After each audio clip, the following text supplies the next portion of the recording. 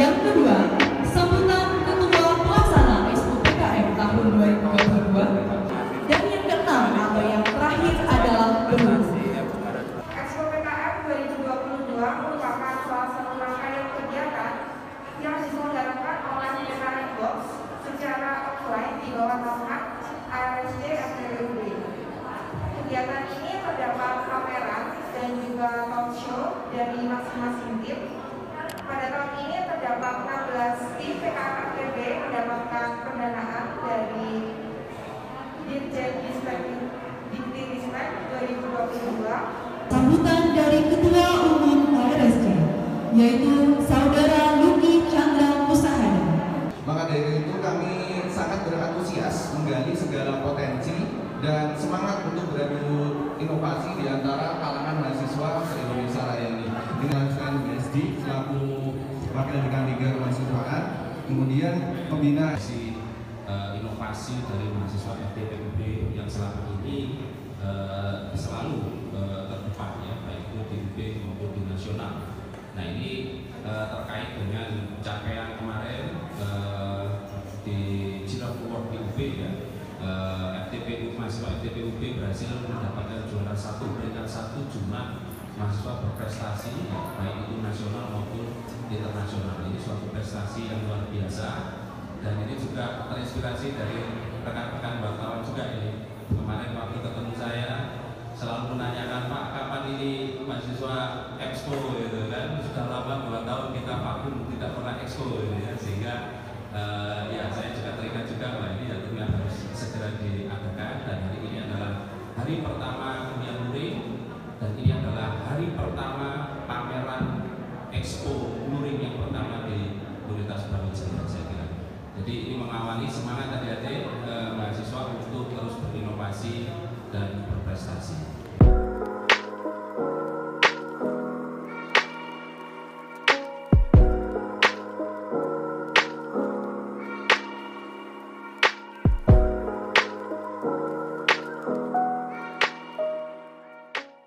Ya, jadi kegiatan ini itu uh, merupakan salah satu rangkaian kegiatan dari PKM Box sendiri. Jadi PKM Box itu di bawah naungan dari ARSC.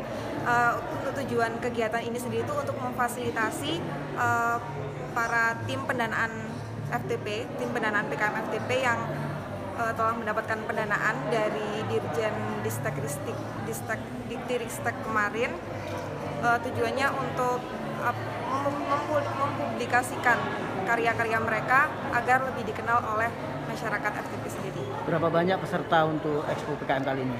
Jadi untuk tahun ini eh, tim PKM FTP mendapatkan 16 pendanaan dari PKM KC sendiri ada 5 tim, PKM K 5 tim, untuk PKM PI itu ada 3 tim, PKM RE ada satu tim, PKM GFT satu tim dan yang terakhir PKM AI satu tim.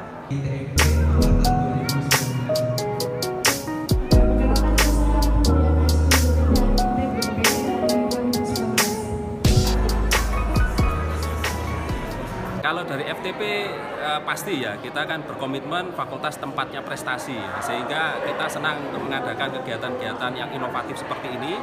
Kita dari pihak dekanat selalu mensupport kegiatan-kegiatan yang inovatif eh, khususnya pengembangan riset ya, riset kemahasiswaan, kemudian ke PKM, ke kompetisi internasional yang lain, kemudian sampai ke hilirisasi komersialisasi produk. Nah itu akan kami support terus. Gitu. Sekitar 40 lebih. Oh 40 ya? Iya, 40 lebih yang dari FTP saja. Cuma kan kalau secara nasional memang yang hanya didanain ada apa? eh, ada penurunan. Biasanya satu tahun itu seluruh Indonesia itu sekitar 4.000, sekarang yang didanai hanya 1.000. Sehingga persaingannya sangat ketat sekali. Tapi jumlah PKM yang didanai di UB tetap FTP yang nomor satu. Kita sebanyak 16 tim itu yang terbanyak di UB. Sehingga kita punya tanggung jawab ya sebagai tulang punggung untuk eh, prestasi PIMNAS mahasiswa FTP tetap apa namanya eh, harus menjaga kualitas dan kami di dekanat selalu mendampingi adik-adik mahasiswa untuk menjalankan mengerjakan program penuh tanggung jawab dan sesuai dengan istilah target capaian yang diinginkan oleh Kemenristek Dikti. Pak, compare tahun lalu Pak jumlahnya menurun atau meningkat Pak yang dari FTP Pak? Kalau eh, apa dari tahun lalu sekarang meningkat yang didanai. Walaupun yang tahun lalu itu masih 4.000 secara nasional, tapi yang tahun ini kita tetap yang terbanyak. Yang pertama adalah mendidik mahasiswa untuk punya jiwa inovasi. Sehingga ketika mereka nanti lulus, mereka sudah bisa eh, apa namanya membuat inovasi sendiri, kemudian sampai ke tahap hilirisasi. Kemudian yang kedua, untuk capaian prestasi fakultas. Sebagaimana kita ketahui kemarin di Giraffe Award, 17 Agustus 2022 kemarin, kita adalah yang nomor satu untuk jumlah mahasiswa berprestasi baik nasional maupun internasional. Sehingga anak-anak nanti yang ada di sini, ketika mereka sudah sukses di apa eh, membuat inovasi seperti ini, kita akan kirimkan mereka untuk kompetisi internasional. Dan itu yang terus kita lakukan. Nasional, apa, lokal, na- regional, nasional, internasional. Nah, sehingga mereka akan punya semangat untuk berkompetisi, semangat untuk inovasi, ke depannya mereka akan menjadi lulusan yang unggul.